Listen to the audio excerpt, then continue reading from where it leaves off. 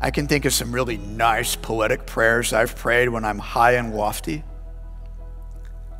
And I can think of some really ugly prayers I've prayed when I've hit rock bottom.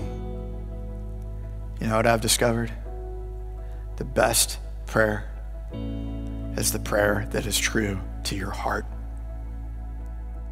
And the enemy has convinced us when it comes to things like corporate prayer meetings oh, I don't know if I should pray out loud because what if I do it wrong?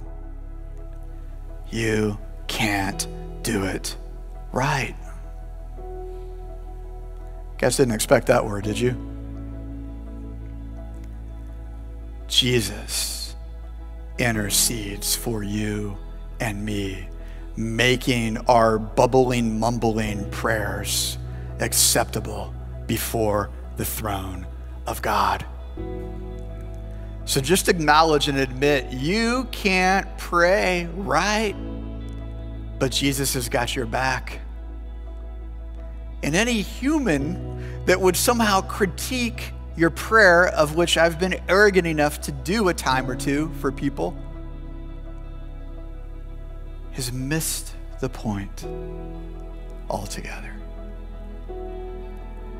Every prayer you pray to God in the name of Jesus is delivered. Don't stop praying. It gets there and it matters.